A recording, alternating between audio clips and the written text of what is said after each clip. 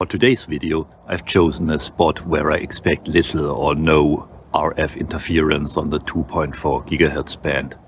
And I'm going to do some range tests with the uh, Cheerson or Sanlianhuang uh, CX-10C drone.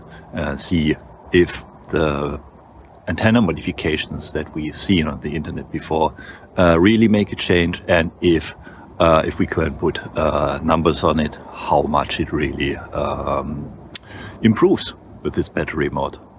So let's have a look what's going on.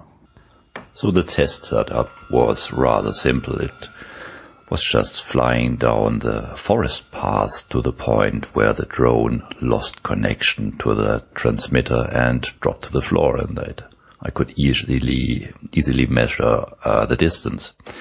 And as a matter of fact, uh, the modified controllers always scored around 10 meters more, which is 30 feet, than the unmodified controller.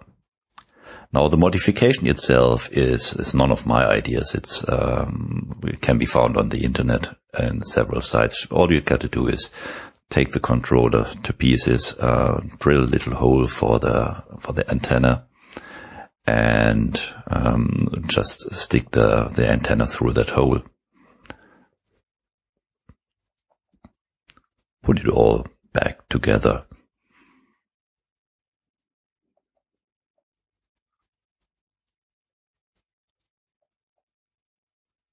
And of course, double check that it all still works.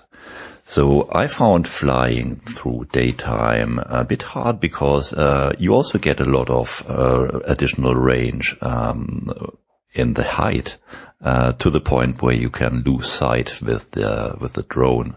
I found orientation a bit difficult, so I tried uh, nighttime flights uh, with it and got also, also got some rather spectacular footage.